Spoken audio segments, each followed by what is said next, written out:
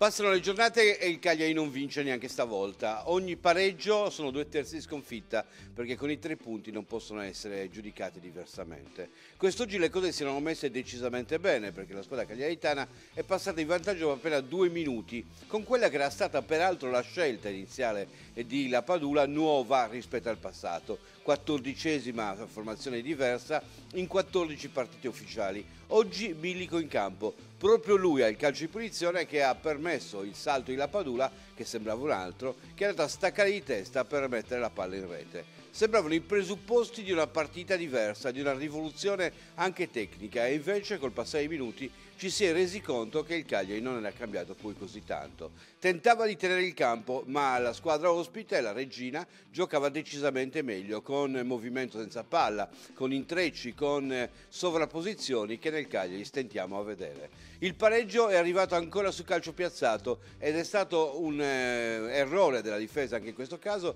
perché Gagliolo ha staccato indisturbato quasi.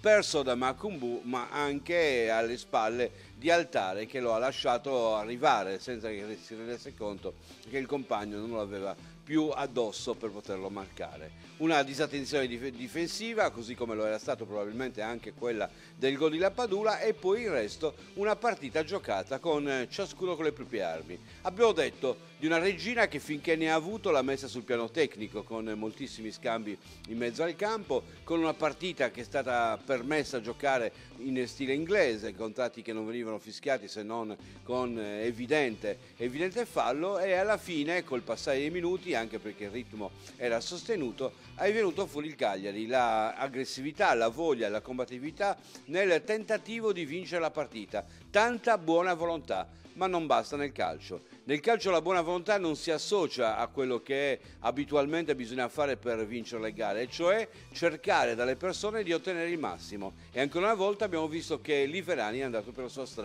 ha insistito con il solito modulo, con i tre attaccanti, forse inizialmente un pochino li ha fatti arretrare rispetto alla linea del primo attaccante, la Padula, portandoli un po' verso il centro. Le cose non stavano poi andando così male. Ma poi ha riportato tutto come prima, Viola in mezzo al campo con eh, i due interni Rogue e Nandez e quando si è trattato di cercare di trovare nuove soluzioni non abbiamo visto nulla che abbia modificato l'assetto in campo se non un momento in cui è sembrato quasi comparire il trequartista dietro Luvumbo e la Padula e sembrava essere quasi l'occasione anche per, per, vincere. Insomma, alla fine il risultato non, non può soddisfare, il gioco è piaciuto solamente per la buona volontà nel secondo tempo perché il gioco poi di fatto non ce n'è stato, si va avanti andando ogni volta a sperare che quello possa essere il segnale positivo da cui ripartire, ma le giornate passano e la classifica latita.